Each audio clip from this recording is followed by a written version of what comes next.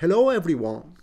Today we will explore what's new in macOS Sonoma update 14.4.1 and I will walk you through the update process step by step. On March 25, 2024, Apple released macOS Sonoma version 14.4.1 with an update size of 1.15 gigabyte.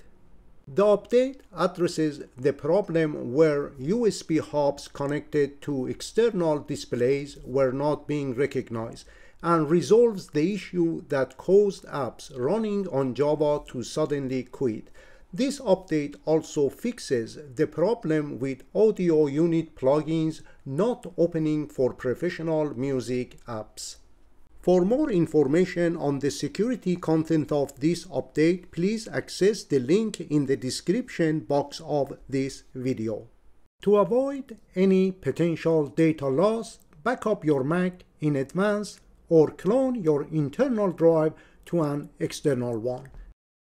I will install the macOS 14.4.1 update on my MacBook Pro M1 and will inform you if I encounter any issues during the installation process.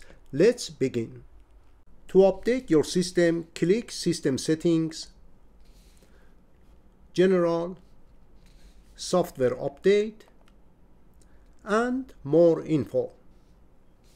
Next, click Restart Now, enter your admin password, and click OK. The installation will take a while. I'll pause recording the video and resume when installation is complete. I will also let you know if I encounter any problems during the installation.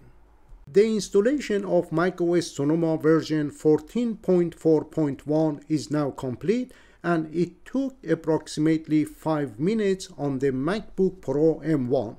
The Apple logo and a progress bar appeared four times throughout the installation, including one brief black screen.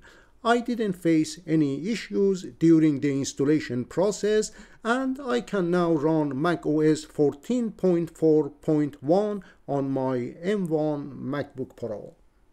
If you are considering upgrading to macOS Sonoma, check out my step-by-step -step installation tutorial. You can find the link in the description box below this video.